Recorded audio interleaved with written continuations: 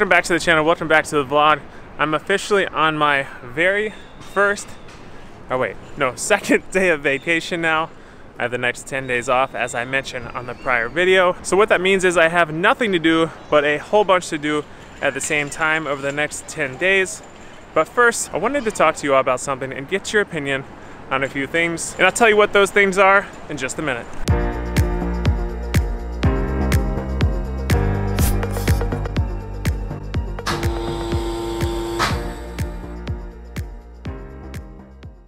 So the thing I wanted to talk to you about is my vacation, which is kind of not happening anymore. So we planned this whole grand trip up to upstate New York. We're gonna stay at this super elaborate Mohonk Mountain House, which I'll link a picture up here. Many of you have probably already seen it on social media. It's absolutely beautiful.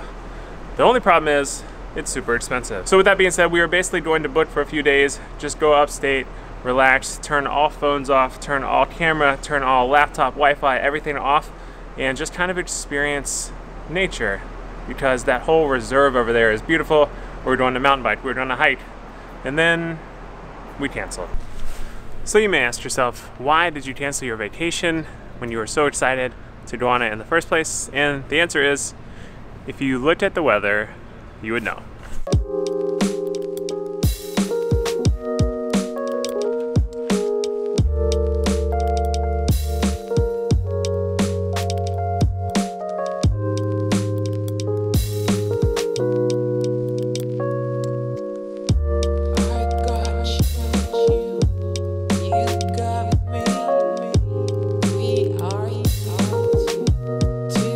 Right, so back to vacation. So it's supposed to rain literally the three days we were supposed to go all the way to upstate New York. So we basically had a discussion, is it worth spending a whole bunch of money just to sit inside a ritzy hotel room and not even be able to explore any of the stuff upstate has to offer, which is the whole reason we were going up there in the first place. And we eventually just decided that it wasn't worth it. So canceled the trip. So Andriana, being the workaholic she is, actually chose to go back to work on her week off instead of take vacation with me.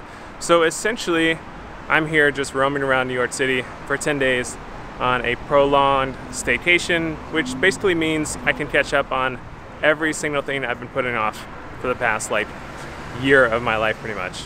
So let's start with making a whole bunch of videos. I have no idea why this tractor is at the Guggenheim Museum, but this tire is as tall as I am. Hold on. Look at this. I'm 6'4". This tire is literally, that's taller than me, I think. Look, hold on.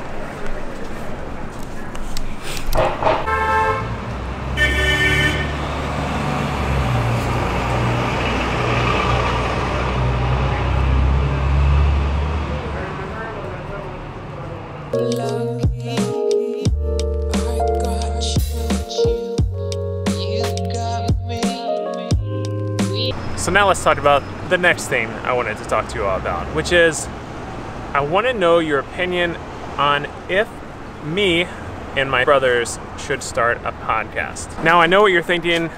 Everybody's starting a podcast right now. Why do you want to just follow the pack and do your own podcast? But the real reason is I think we can offer something unique, which is why everybody starts a podcast to begin with. So for those of you who don't know, my older brother is a neurology slash neurosurgery veterinarian and my younger brother is also a radiology resident. He's in his third year residency, so he's two years behind me. So we have three doctors in the family. So my brother came up with a good plan that why don't we just start a podcast? We have a unique outlook on things. We have two brothers in human medicine, one brother in animal medicine. So with our powers combined, we could probably come up with something entertaining, right? So I don't know. We are in the talks about doing it. My both my brothers live in Chicago. I live in New York City, obviously, so I don't know how the logistics would work out. Maybe we could bank a whole bunch of podcasts or whatnot. But let me know in the comments below what you think. Should we do a podcast together, and what should we talk about?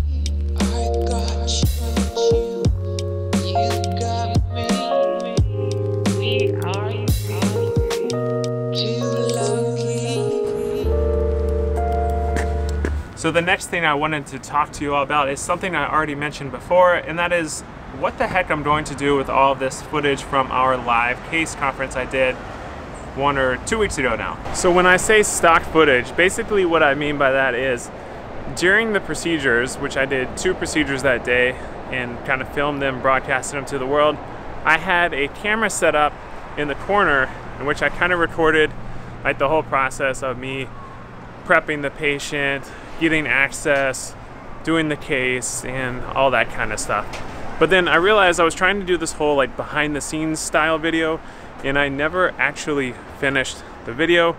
So it kind of just cuts off after the second procedure of the day because I had to do inpatients at the end of that whole live case symposium and I never got around to kind of finishing the video. So it's just kind of stuck in its raw form. I have a whole bunch of footage in the corner of the procedure room. A beginning I have when I'm doing like some of the behind the scenes stuff, but then there's no ending. So I'm thinking about just posting like a 30 minute video of just purely the whole procedure and just kind of like a behind the scenes look at what we do without any commentary whatsoever.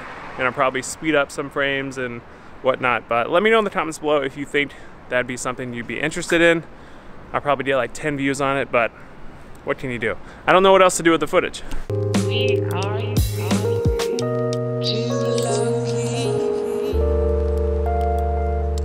This is Lenox Hill Hospital that is the hospital I did my intern year at. That is the hospital I've also done two videos on now. I have a lot of fond memories of this hospital. I feel like this is the hospital where I actually became a doctor. It's where I pretty much learned everything, learned how to operate, learned how to take care of patients, and also met my wife. So I never told you my favorite thing about living here, and that is because the hospital is right there, and my old apartment is like right here. So I literally used to just wake up at like 5.30, walked across the street, and I was at the hospital. It was the best thing ever. Here's my old apartment. This little six story or seven story elevator building. Loved it. Alright, so I am going to officially end the vlog here. I want you all to respond to all those questions I asked you. I want to know if I should do a podcast with my brothers. I want to know what you all think I should do with the footage.